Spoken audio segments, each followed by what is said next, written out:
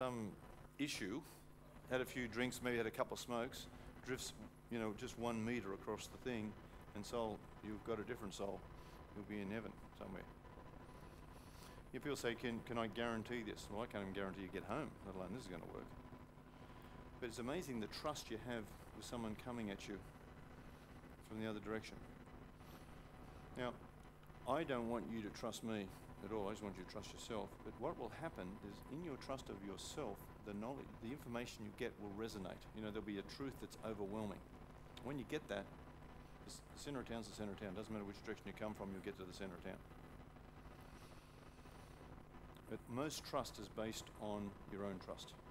If you're untrusting of others, you'll find a lot of untrustworthy people out there. I find a lot of trustworthy people.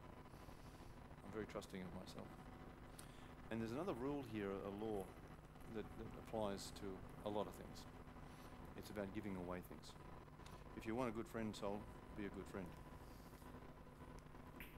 If you want, a, if you want love, you give love away.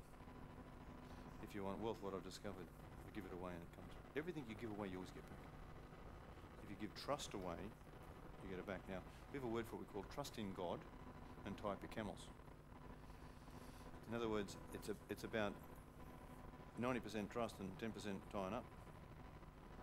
But you don't just, here's my wallet, help yourself, go for it. But we are talking about trust, aren't we? We're talking about trusting a guidance system greater than who you are. And we're talking about some very factual things here about some property. I want you to see when we do the real estate how you can trust a market. It's always right, even when it's wrong. Despite what the analysts say, if it's going down, it keeps on going despite what they say, but the values, it doesn't matter. People keep on going. It's always right when it's wrong, it's right. When it's right, it's right. So a lot of our trading that we do is we trust the market. It's always right. Is that different mindset? Very different. The difference between that is when you buy and hold, and you're holding something and you're hoping it's going up. Well, it doesn't always go up. You can't trust that to do that because it may go down. That's a different situation. That's why we trade. We buy and sell, sell and buy. We do different things we have a different mindset to this, and that's what I teach my son and my daughter. The good thing about this, some of these words are a bit foreign, and you might think, Joe, I don't know how to do this. They will flow with you because all of you do amazing things. All of you do miracles. All of you do stuff that. So, what do you do? You're a farmer. So, you, he's got to be a stock and station agent. He's got to be a, uh, a fencer. He's got to be a mechanic. He's got to be uh, a, an accountant, he's got to buy low, sell high, he's got to be a trader, you know, and he does all of these things. And you see how, much talent is required for that. Huge. And he's under pressure from his father, don't lose the farm son, or whatever the story is. And was his father's position different? Was it easier, simpler, whatever, you know?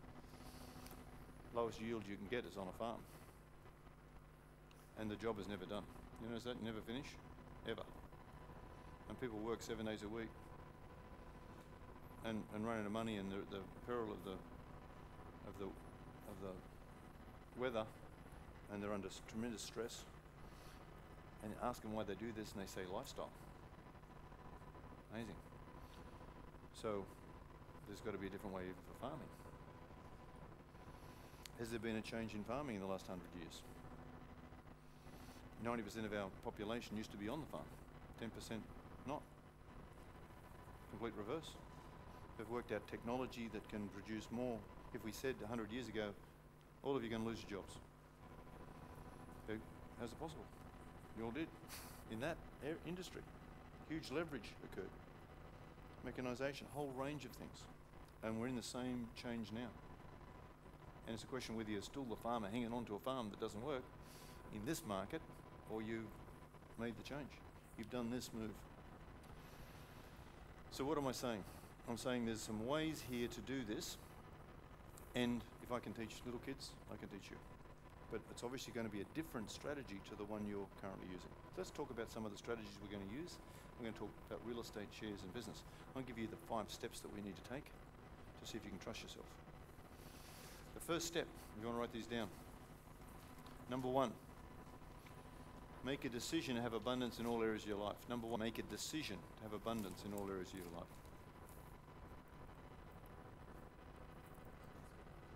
Make a decision to have abundance in all areas of your life.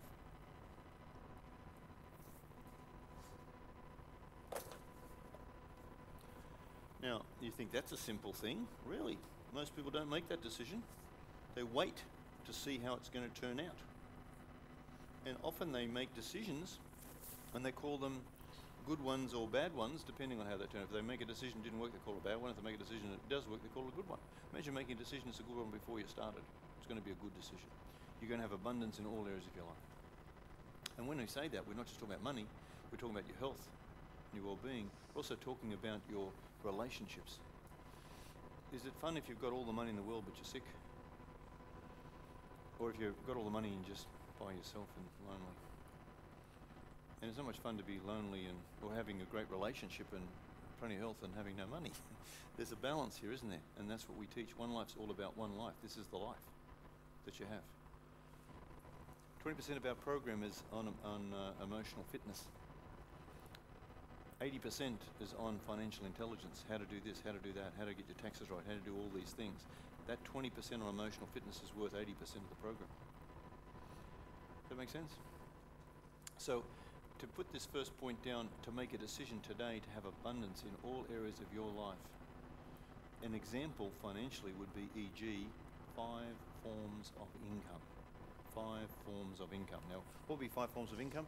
Real estate, shares, business could be forms of income. None of them are your job. Adding a new income stream each year, getting ready for the switchover, making a decision to have abundance in all areas of your life. Does this make sense? Now, some people here love their job, and uh, we just say three days a week is good.